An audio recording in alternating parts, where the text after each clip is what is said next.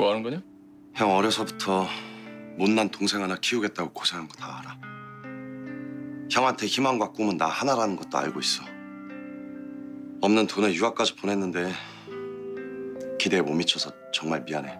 잘못했어. 형한테 항상 미안한 마음 갖고 있었어.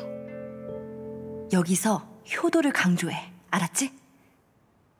형은 나한테 부모나 한 가지야. 이 다음에 형한테 꼭 효도할게.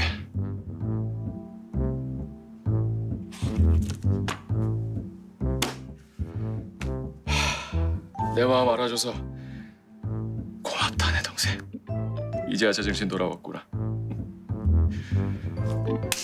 그래 날라리 뽕짝부터 떼내고 새 출발하자. 그런 애 붙어 있으면 평생 재수 없다. 아, 나도 형처럼 생각했어 처음엔. 날라리의 싸가지에 인간 말종인 줄 알았어. 근데 아, 진국이야. 시대를 잘못 만나고 사회를 잘못 만나서 그래. 그놈의 사회 사회 사회가 뭘 어쨌다고 툭하면 사회 탄핵이야? 난 그 어려운 사회 속에서도 이렇게 살아남았어. 아, 형은 특별해서 그런 거고 우리 같은 일반인들은 사회 덕을 봐야 살아.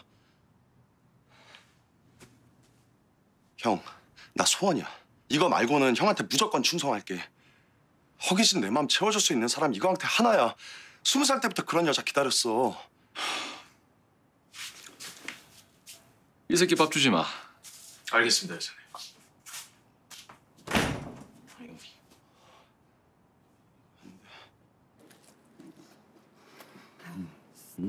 생으로 굶으면 얼마나 허기진데. 천천히 먹어. 체할라.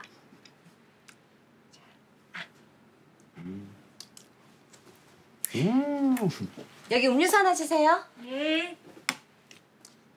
그렇게 말해도 안 통한다 이거지? 무슨 좋은 방법 없냐? 이러다 우리 결혼 프로젝트 망치면 안 되는데. 아, 안 되지. 하여튼 우린 끝까지 한 편이야. 가자. 너 머리 좋으니까 생각 좀 해봐.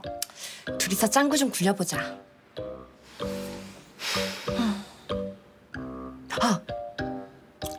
있어? 내가 누구야? 형님한테 점수 확 따는 방법이 있지.